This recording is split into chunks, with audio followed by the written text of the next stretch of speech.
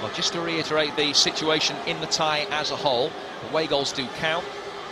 So Wales know that a 2-1 victory tonight, even though it would make it 4-4 on aggregate, wouldn't be enough.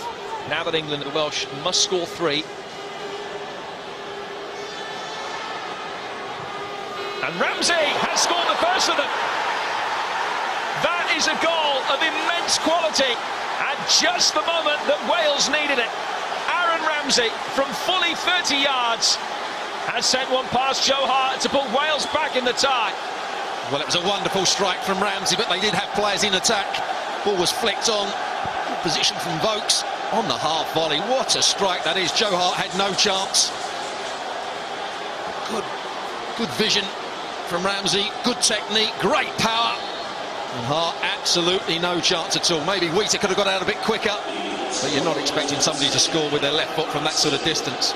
And Ramsey is mainly a right-footed player.